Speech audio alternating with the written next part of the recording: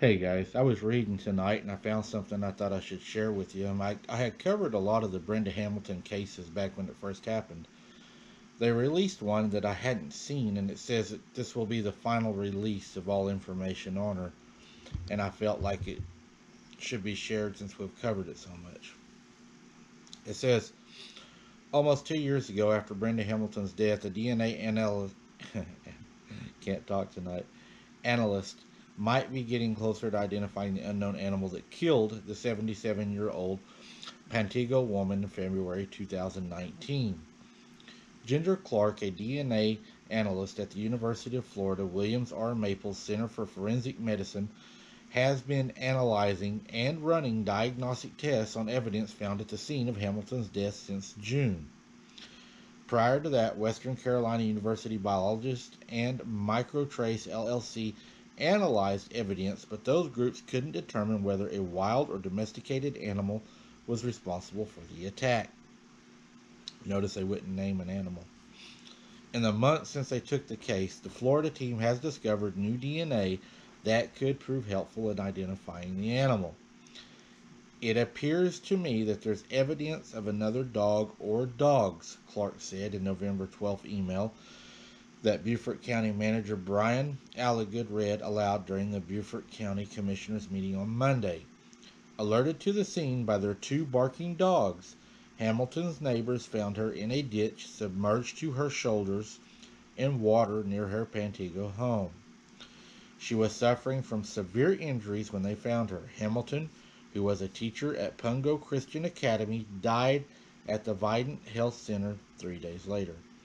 Investigators found minimal physical evidence at the scene of the attack. That evidence included a flashlight Hamilton had been carrying, as well as a dead nutria found near, near the body.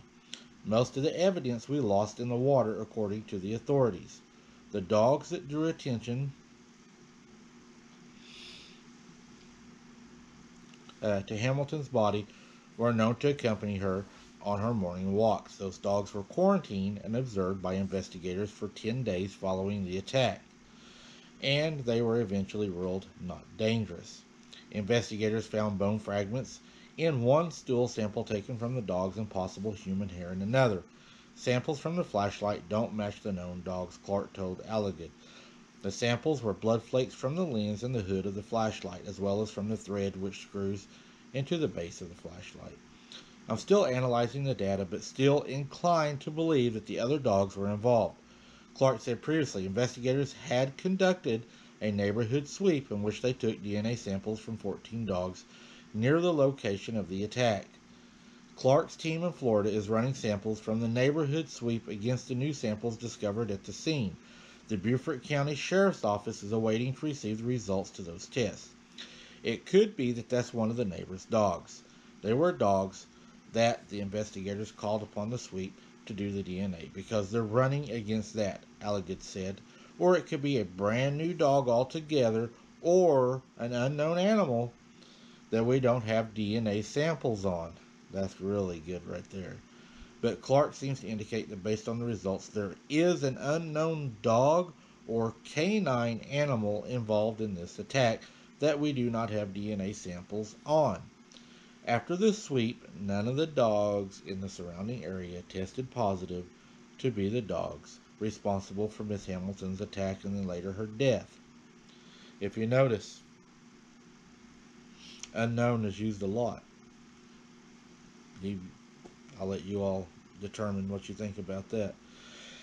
Don't forget, guys, June 2nd coming up uh, I'm going to be releasing the new investigation on the Girl Scout murders with a witness that came forward to me. It's going to be a little over an hour long.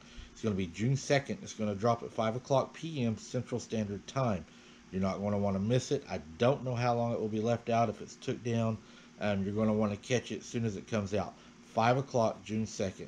Um, if they remove it, delete it, or flag my channel, I will not be able to repost it. So best thing to do is just try to get it, download it uh, as fast as you can. I know this is going to go crazy. A lot of information from her that's never been heard in 50 years. Thank you guys for watching. Until then, keep your head on a swivel and don't be something's dinner.